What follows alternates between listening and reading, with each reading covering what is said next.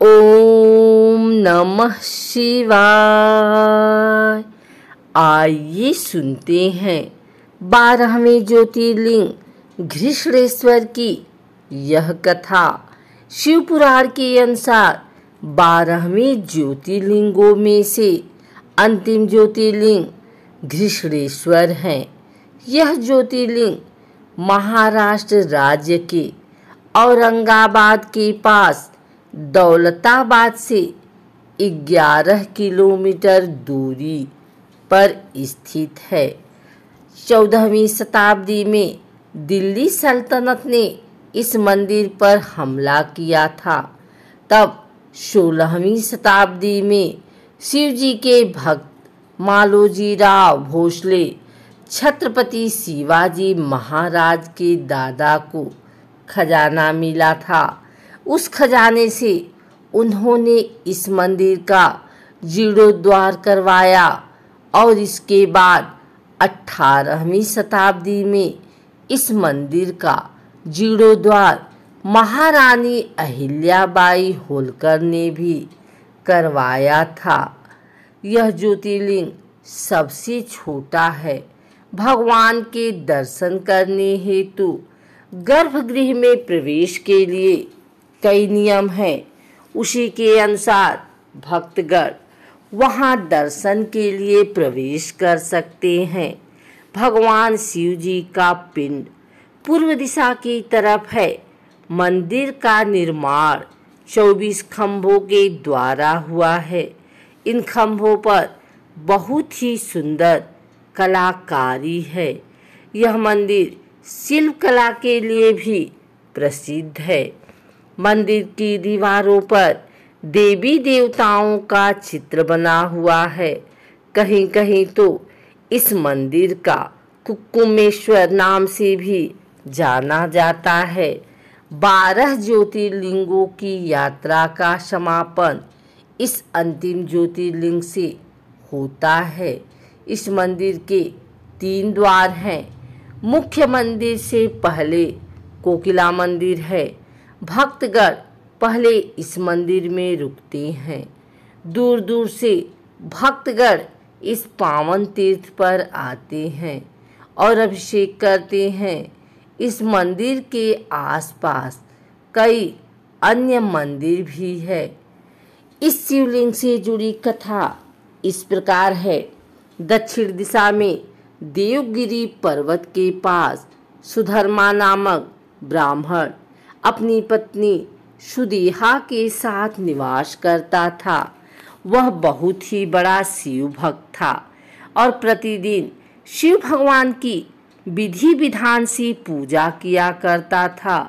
वे दोनों खुशी से अपना जीवन यापन कर रहे थे, लेकिन एक बात का दुख था कि उनकी कोई संतान नहीं थी, क्योंकि पड़ोसी उन पर व्यंग करते थे। एक बार सुदेहा दुख से व्याकुल हो उठी और सुधर्मा से बोली कि, इस पृथ्वी का नियम है कि वंश आगे संतान से ही चलता है, लेकिन हमारी कोई भी संतान नहीं है। अपने वंश को नष्ट होने से बचाइए। मेरे अनुसार इसका एक ही उपाय है कि आप मेरी बहन, घुषमा से विवाह कर लें। ऐसा सुनकर सुधर्मा ने कहा कि इस विवाह से सबसे ज़्यादा दुख तुम्हें ही होगा। लेकिन अपनी जिद से सुदेहा ने अपनी बहन का विवाह अपने पति सुधर्मा से करा दिया। अपनी बड़ी बहन सुधेहा के कहे अनुसार घुषमा प्रतिदिन 101 पार्थिव शिवलिंग बनाकर विधि विधान से पूजा किया करती थी और उन शिवलिंगों का विसर्जन तालाब में किया करती थी। तब शिव जी की कृपा से घुषमा को एक पुत्र रत्न की प्राप्ति हुई। घुषमा का सम्मान बढ़ता गया और सुदेहा के मन में अपनी छोटी बहन घुषमा के लिए ईर्ष्या उत्पन्न होने लगी। वह पुत्र बड़ा हुआ और उसके विवाह की बारी आ गई। उसका विवाह बड़ी धूमधाम के साथ संपन्न हुआ। पुत्र बहु आने से सुदेहा की ईर्ष्या और भी बढ़ गई और इस कारण से सुदेहा ने उस सोते हुए पुत्र की चाकू से हत्या कर दी। और उसके अंगों को काट कर उसी तालाब में डाल दिया, जहाँ घुषमा पार्थिव लिंग का विसर्जन किया करती थी। अगली सुबह घुषमा और सुधर्मा पूजा में लीन। उनकी बहू ने जब देखा कि कमरे में सब जगह रक्त है तो वह घबरा कर चिल्लाई और रोने लगी।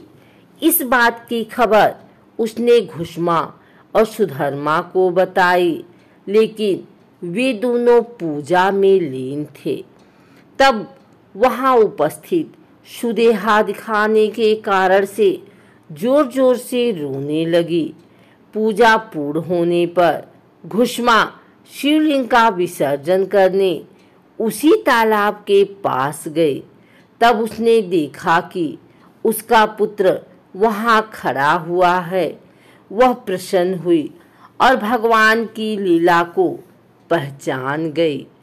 तब वहाँ एक ज्योति प्रकट हुई और उस ज्योति के रूप में साक्षात शिव भगवान प्रकट हुए और उन्होंने सुदेहा का अपराध बताया।